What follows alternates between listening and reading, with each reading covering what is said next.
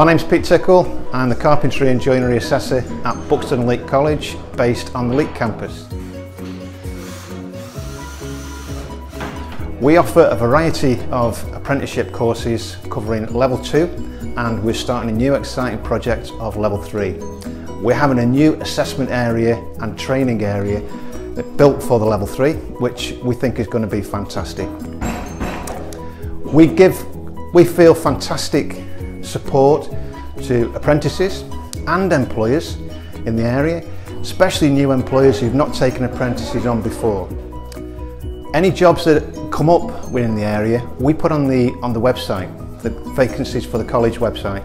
You can access that through the apprenticeship tab, which is also on the website. It's a fantastic opportunity with lecturers and tutors who know the industry inside and out and can give you a fantastic view of what goes on in the industry, the training that's there. Please do go on, look at what's there and make an application. You never know where it's going to lead. We've taken learners from leaving school to entering SkillBuild competitions, which has been a national competition.